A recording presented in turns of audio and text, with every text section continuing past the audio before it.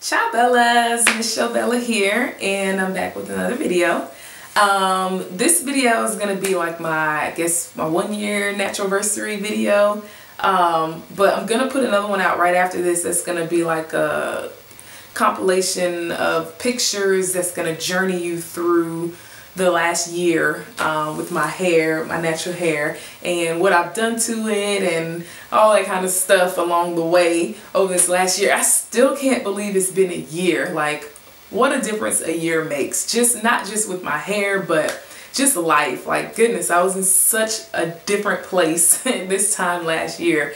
And it's just, it's so amazing to just look back and see how much I've changed and how far God has taken me and all that stuff. It's just amazing. But anyway, um, yeah, so this video, I'm just going to include some clips.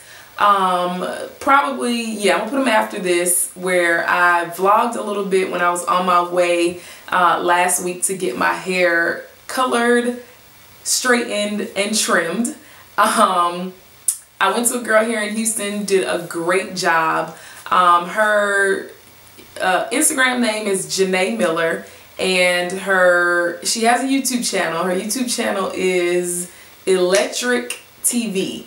I think. I'm going to link them both down below um, so you can check her out if you're in the Houston area and you're looking for a good natural hairstylist. She's great. I loved her. Um, even the beforehand, like I probably text her a million times with a million questions because I was so worried about heat damage and just like all kinds of stuff. And she was just so sweet and so great and just was answered every question, always text me back and was just so helpful.